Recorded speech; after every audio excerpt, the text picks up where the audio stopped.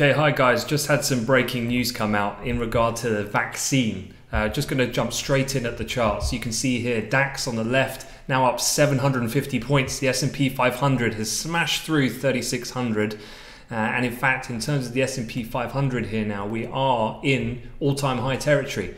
We've broken through that peak that we saw at the beginning of September, and we've just printed up now at 3651 and a quarter. So fresh all-time highs now. In US indices, gold getting hit and also the US 10 year down at the bottom corner here as well under quite a lot of pressure.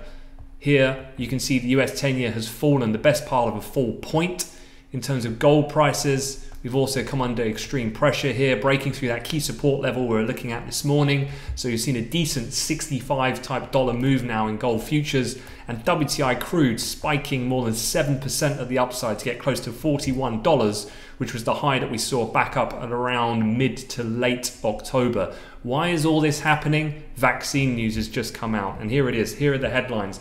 Pfizer vaccine prevents 90% of COVID infections in a large study is being reported on the financial newswires. Pfizer and BioNTech vaccine two months safety data is due in about a week and phase 3 trial so shows no serious safety issues. The market is loving these headlines.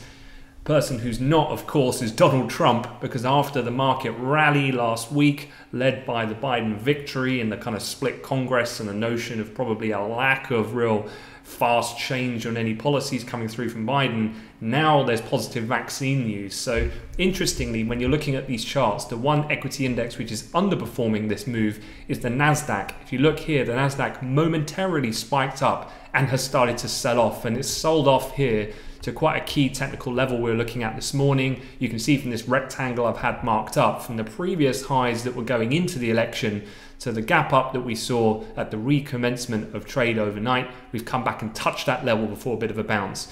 Reason why the Nasdaq is bucking the trend, obviously these big mega cap tech names tend to benefit from a pandemic situation over the rest of the broader market. They're just better equipped for that type of environment as we've seen since the onset of the pandemic right at the back of the beginning of the year. This is well in context of that phenomenal run up we've seen the Nasdaq of course outperform led by those big cap tech names then a little bit of unwinding of that trade intraday makes sense on the back of those headlines. So I don't think this changes the longer term picture. I still think tech is looking good uh, for the foreseeable future, but in the day trading environment, certainly uh, short term rotation out of some of those tech names, fueling elsewhere then the likes of the S&P and so on. Oil's arguably seen the biggest move, of course, as we just saw, more than 7% rally. It's found a bit of resistance around that previous price points of significance, around just shy of the $41 handle in the futures. So, yeah, breaking news. Just wanted to share that with you. We're going to be covering extensive detail throughout the rest of the session, particularly the US Open on Amplify Live. So, check out the link um, in the description of the video if you're seeing it there, and you can uh, listen to us commentate over this and, and, share the trades that the guys are doing uh, in real time.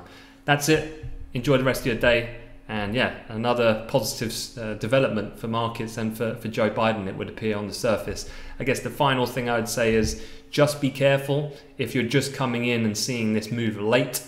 Don't get caught trying to just trade into a move that's already largely developed um, because you could be chasing something where the move's already uh, kind of happened at this point in time. I'd say better thing to do is just wait now. Let's wait for the US Open uh, in a couple of hours and let's see what happens at the Open on the New York Stock Exchange later.